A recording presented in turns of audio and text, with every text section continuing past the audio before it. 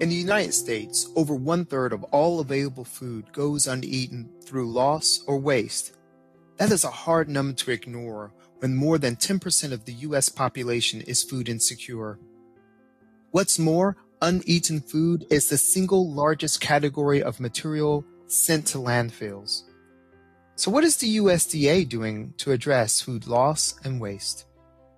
I'm Norbert Wilson director of the World Food Policy Center at Duke University. This podcast is part of a series on food waste.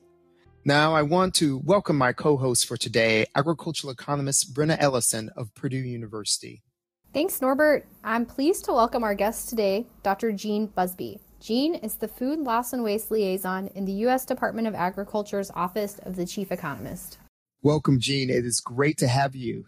So, what do you do in your position as the USDA Food Loss and Waste Liaison? As the USDA Food Loss and Waste Liaison, I'm using my platform to raise awareness of food loss and waste, its associated challenges that you mentioned, Norbert, as well as the opportunities for businesses and consumers to save or make money by reducing it. And I work with multiple partners in the corporate, nonprofit, academic, and government arenas to prevent or reduce food loss and waste.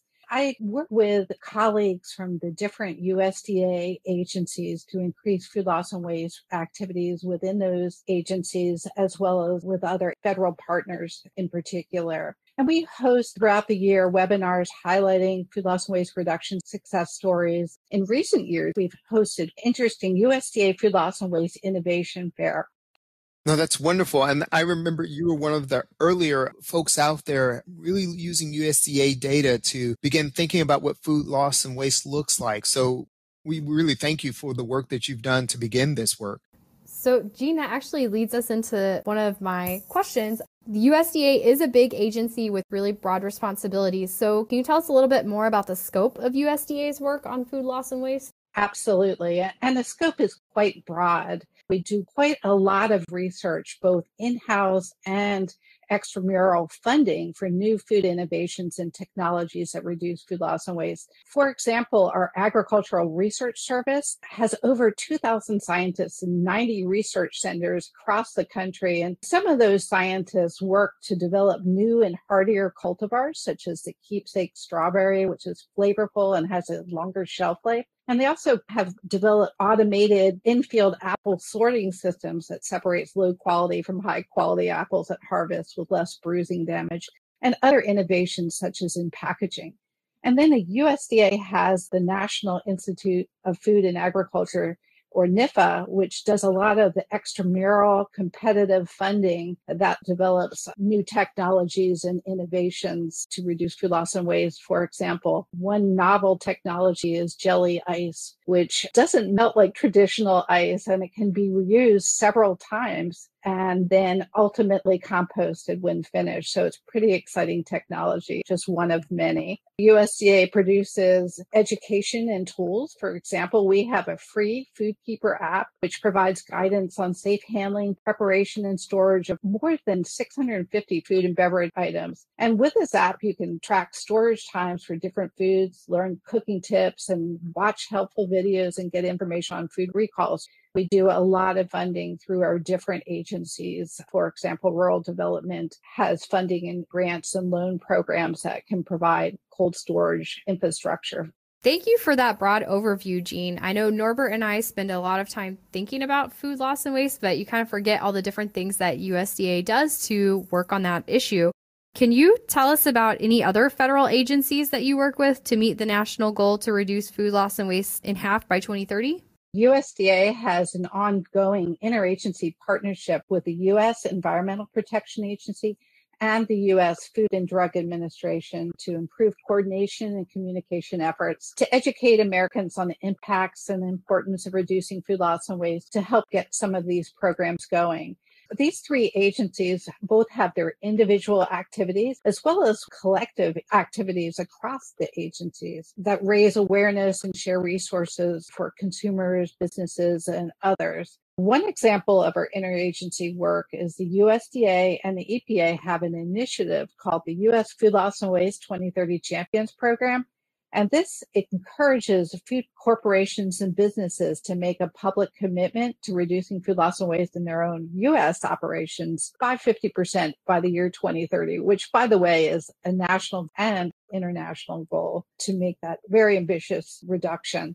Right now we have about 50 2030 champions, and these include companies across the food system, such as food service organization Aramark, hotel industry leader like Hilton, and grocery giant Kroger. And you can learn more about the 2030 champions by searching for USDA 2030 champions. And if you click on each icon or the logo of each company, you can see what they're doing in their own in house activities. So it's very exciting. And we are actively growing this program. That is really exciting. I think the number of champions has grown quite a lot, so that's really exciting to hear. Thank you, Jean. Jean, I really am happy to hear about the various companies that have engaged in helping reduce food waste and Brenna and I have worked on different projects looking at different actors along the food supply chain and their relationship to food waste. And one of the things that we do know is that consumers really are an important part of that challenge for us to reduce food waste by 50%. And so I would love to hear some of your thoughts of what can consumers do to help reduce food waste. Absolutely, Norbert. You're right. Everybody has a role to play in reducing food loss and waste. And a great first step is to be mindful of the food that we discard. We may not be aware of the amount of food we waste over the course of the year because it's a little bit today, a little bit tomorrow, and over time. But an average family of four wastes about $1,500 of food that they purchase and then goes uneaten. And that's a big hit to the wallet, and small choices add up. But consumers can take many steps to reduce food waste in their own homes, such as they can plan ahead before we go to the grocery store or order online. We can make a list so we don't buy more than we need. You can also love your leftovers. You can pack leftovers in small portions in shallow containers and mark the contents and date and then refrigerate it or freeze it immediately. You can even have a leftover night, like every Tuesday is for leftovers. And then you can also compost and not trash uneaten food. Food in landfills produces a harmful methane gas that's 25 times more potent than carbon dioxide as a, a climate change gas. And so it's really important to keep that food out of landfills. And so you can recycle your food scraps in a home compost bin or a local compost center. But there are many more steps. And if you just search online USDA food loss and waste, you'll find we have a whole page just for consumers with lots of videos, both in English and Spanish, as well as consumer outreach materials. Jean, that is wonderful. I love the recommendation of love your leftovers. I'm going to love some later on today. So thank you so much for this.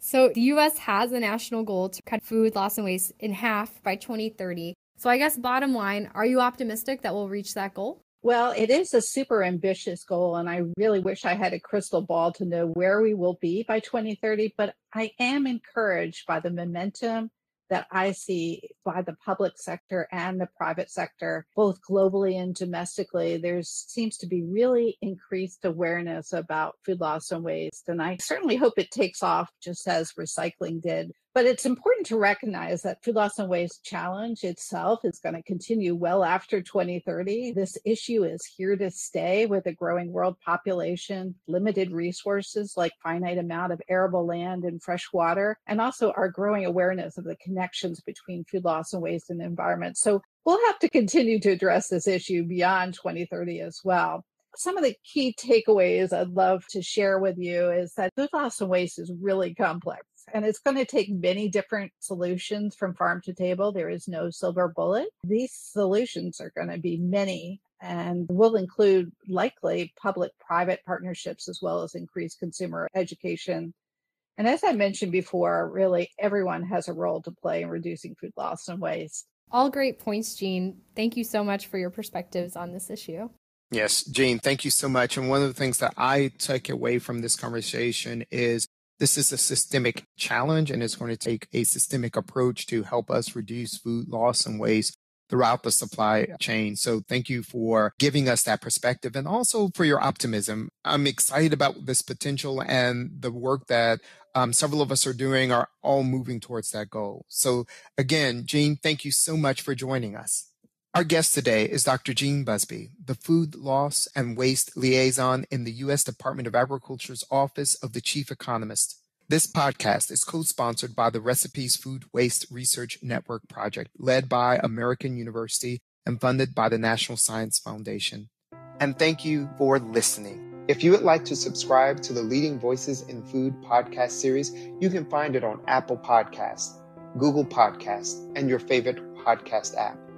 Podcasts and transcripts are also available on the web of the Duke World Food Policy Center. This is Norbert Wilson with Brenna Ellison.